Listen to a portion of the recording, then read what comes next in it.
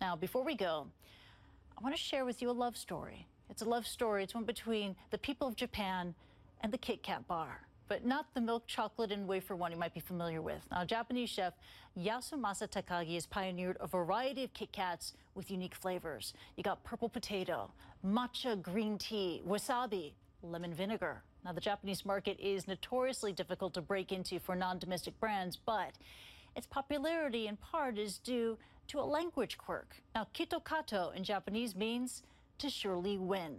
The bars are given as gifts with handwritten messages. And if you happen to be visiting Japan, you can find them at Kit Kat boutiques or major train stations and airports. And that is Newsstream. I'm Kristie Lu Stout, but don't go anywhere. World Sport with Christina Macfarlane is next.